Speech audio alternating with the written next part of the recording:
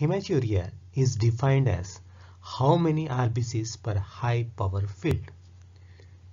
A 2 to 5, B 5 to 8, C 8 to 12, D 12 to 15.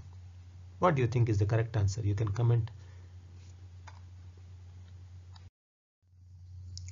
Water channels in collecting duct activated by AVP are encoded by A. Aquaporin 1 gene B. Aquaporin 2 gene C.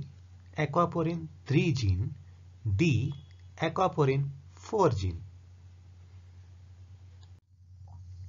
Renal excretory capacity is A. 12 liter per day B. 15 liter per day C.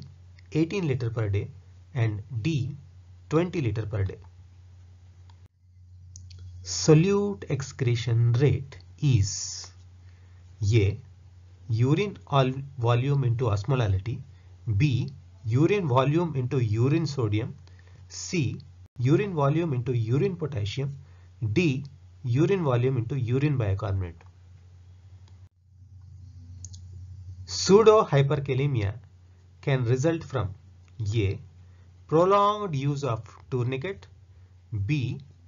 Hemolysis C. Marked leukocytosis and D. All of the above. Classical laboratory finding in milk alkali syndrome is A. Hypercalcemia B. Metabolic alkalosis C impaired renal function and D all of the above.